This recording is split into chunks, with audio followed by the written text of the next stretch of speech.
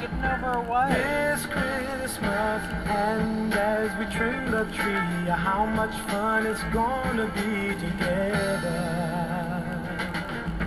This Christmas, the fireside is blazing bright.